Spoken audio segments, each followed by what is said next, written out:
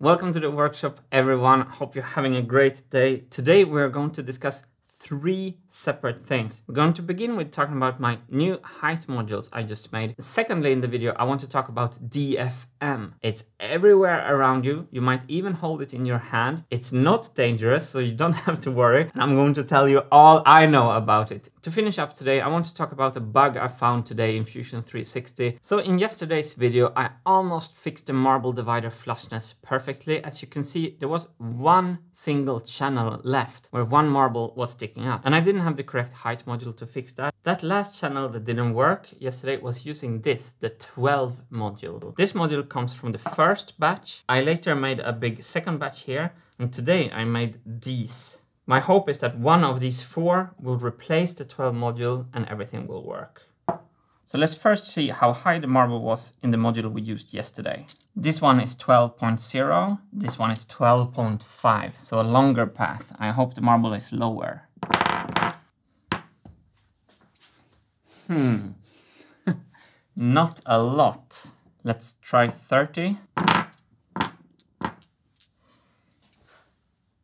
Uh,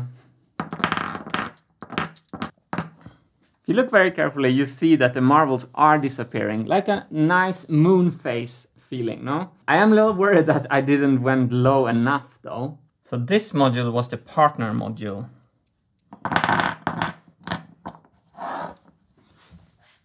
And that's lowest. Okay. So what I'll do is that I use these two, the lowest ones, and then I think I'm gonna use this one in the other slot and this one in the partner slot. So super quick recap here. If you look at the marbles up here on the machine, they go down and come out down here. But if you look into the middle of the machine, you can see my hand there and how I'm pushing this module in. Should slide, yeah, like that. So this module intercepts the marble path and changes the marble path's total length. So I can accurately control the height of the top marble. So let's put the 40 module in, comme ça, and then the latch to lock them in place. So now we need to fill the empty marble pipes with marbles.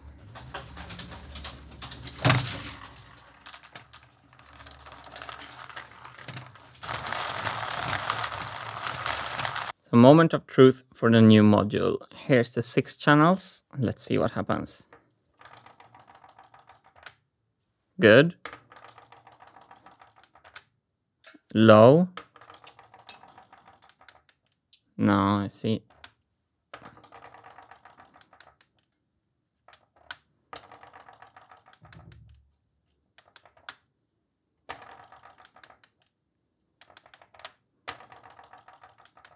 I have modules that are just higher. I'm going to change around and test again. I've changed the modules. Let's try again. That's good. Oh, that looks okay.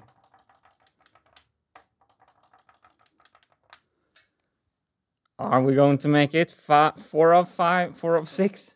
Okay. If this marble, no, we have one more. Nice.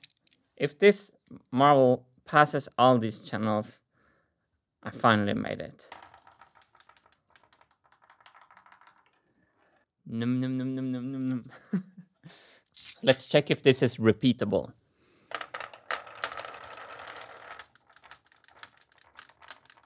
Oh, did you see that? mm, num, num, num, num, num.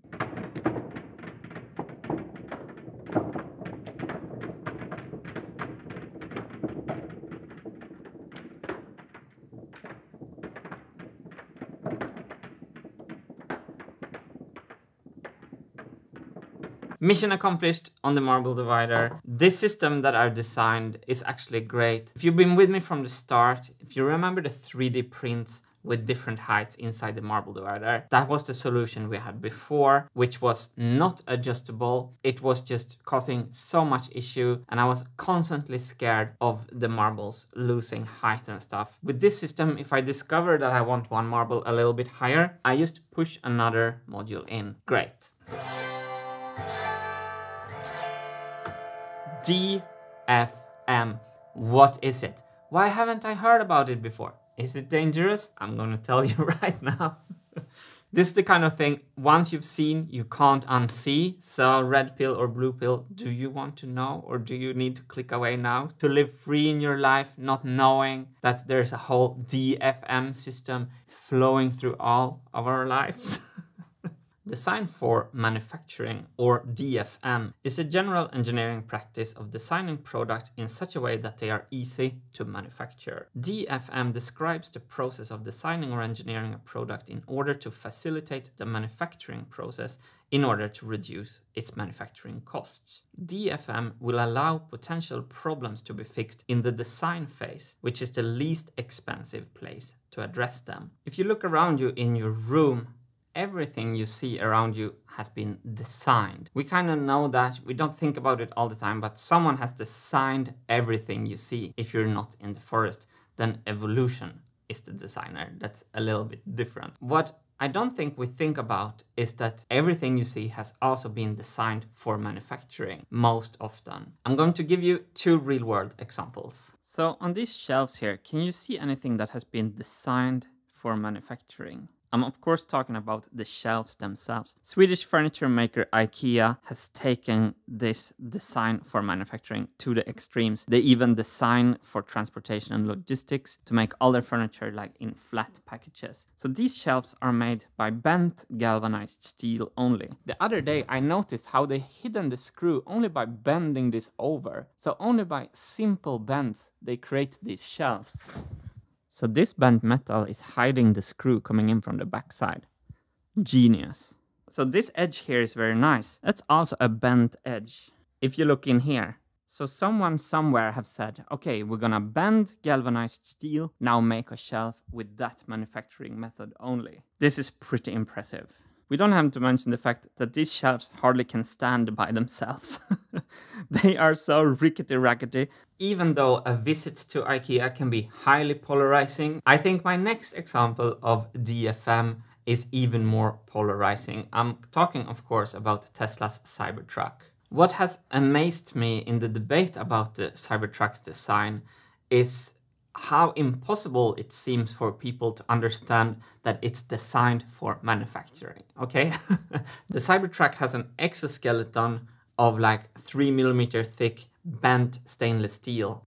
All the polygonal shapes comes from how the truck is going to be manufactured. I went through such a roller coaster reaction to when I saw the design rolling in the presentation. When it came in, I said loud out in the room, oh no. and it took me exactly 24 hours for me to totally flip into absolutely loving it. it was just so different, and so many seem to believe that it looks like that to be provocative or to be futuristic. And part of it is, of course, that it's inspired by science fiction film, but most of it is DFM. 25% of a car factory is the paint shop. The Cybertruck has no paint. The galvanized IKEA shelf downstairs has no paint. My plywood has no paint. If I had to lacquer all these parts, uh, World Tour 2060. so when you look closer at the Cybertruck, to me it stands out as a complete burst of inspiration. The looks are crazy amazing, the functionality is amazing, and the cost of producing it is lower than everything else. This is the kind of magic trick that DFM can do. So whenever I get interested in a debate about anything, I try to listen to both sides. So I've been watching YouTube videos from people who hates the Cybertruck and from people who loves it. And then I can kind of make up my mind hearing both arguments and kind of weigh them against each other. During my Cybertruck meanderings, I came across this video that I thought was especially interesting. It's from a world-renowned car designer, Frank Stephenson, and the title is The Cybertruck Review That Took Me a Year to Make. And what's interesting with this video is not what's in the video, it's what isn't in the video. I only watched this once for a long time ago. I don't want to put words in his mouth if I'm wrong with this, but it's clear that he likes softer shapes. Not once in the whole video of this review that took a year to make is the design for manufacturing aspect mentioned. It's so fascinating that a world-renowned car designer makes a 10-minute review about the Cybertruck design and for some reason omits to mention why it looks like it does. And I'm just very curious if it was deliberately omitted and just overseen. And perhaps it can even be perhaps just overseen. So you have this thing that goes viral on the internet and so much of the discussion proves that people don't know what they're looking at. so when you don't apply a DFM perspective on a design discussion about the Cybertruck, you're really actually not talking about the Cybertruck. You're talking about straight shape versus round shapes, which ones you think is most beautiful.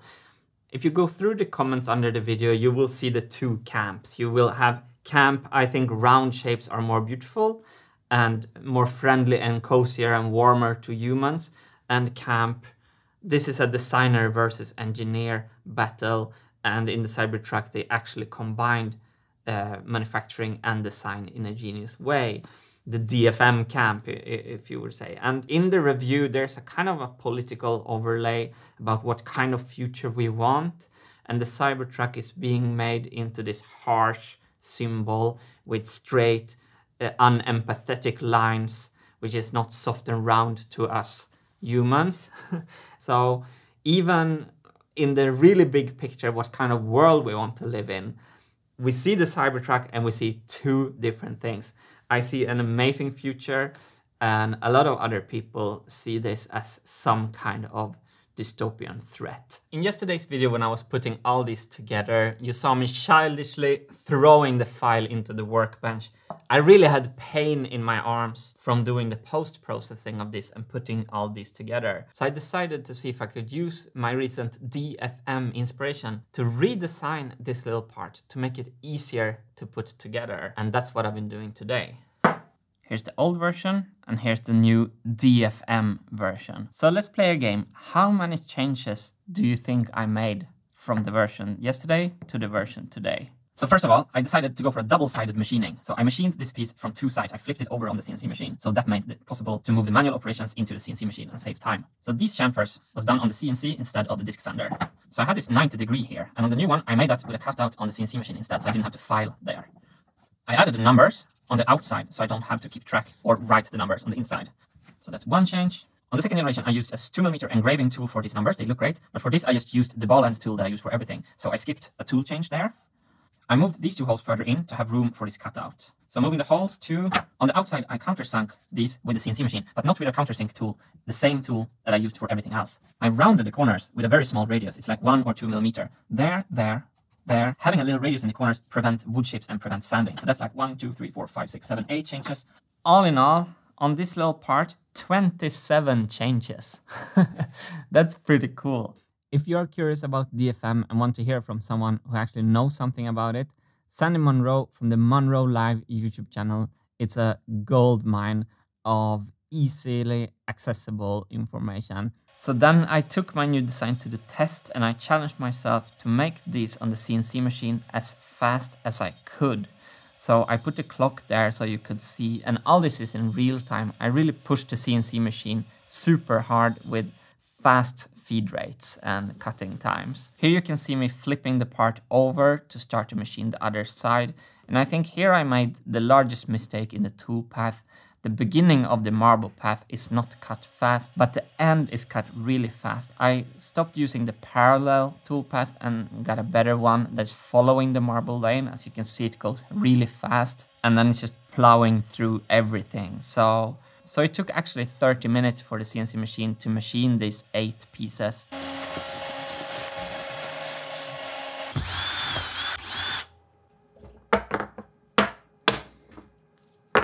And then I put them together and all in all from plywood to finished parts it took 45 minutes. I'm pretty sure this is 5 or 10 times faster than what I did it before so I'm very happy for this.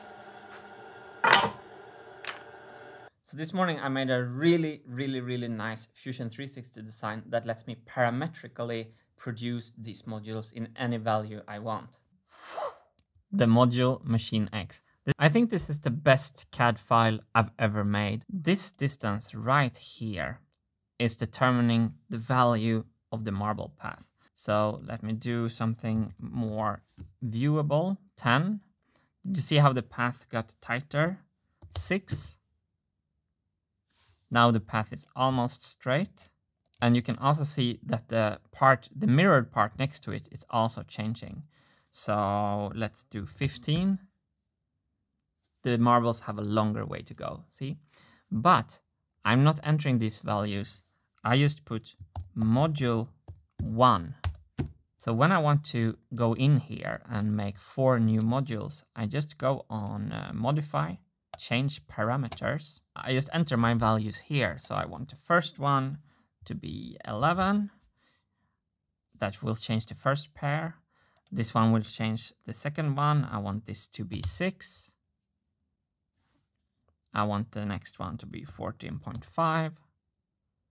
Hardly any change. And I want the last one to be 17.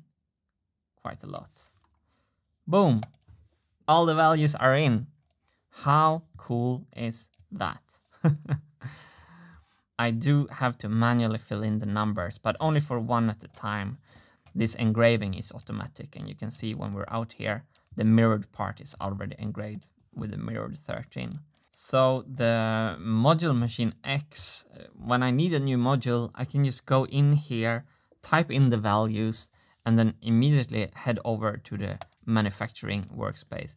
And I discovered a bug here today. I spent five hours on this today. When I wanted to change from design to manufacturing workspace, the program crashed all the time. If your Fusion 360 is crashing when you go to manufacture, go into design, roll back the timeline till, till the beginning, go over to manufacture, delete the manufacturing model. That's the trick. These are the tool paths and I'm doing double-sided machining and I really liked this one it just goes on the edges because this is what I had to sand on the disc sander manually before. So I used a sketch to make the parallel just on the edges like that. Very efficient.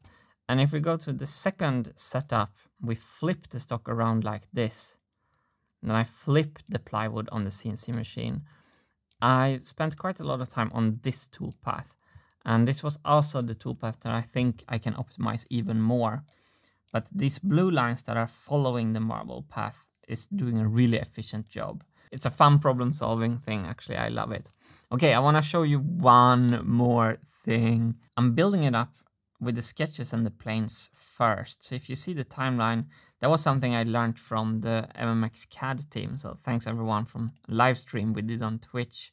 So instead of projecting the sketches on bodies, as I always did before, I tried to project the sketches on sketches or on construction planes. So this is kind of the skeleton of the whole design. And as you can see here, there's no bodies, it's just construction things, sketch lines and construction planes. First, now I do an extrusion feature. Um, then I do some more, and then I parallel pattern that into four parts. Then I do the sweeps, which is the marble paths themselves. And when all these bodies are done, I mirror them. So they have the mirrored uh, partners. That's the module machine X. It has been so fun for two weeks now sharing the day-to-day -day progress. So happy that you're all enjoying this. Me and Hannes are having a lot of fun. Next week we will continue and I'm going to try to push the Marble Machine X as hard as I can ever because I really want to finish this project. It's it's it's ready for to cross this finishing line now. I have to. I must, please. Y'all are awesome. Have a wonderful weekend. See you on Monday.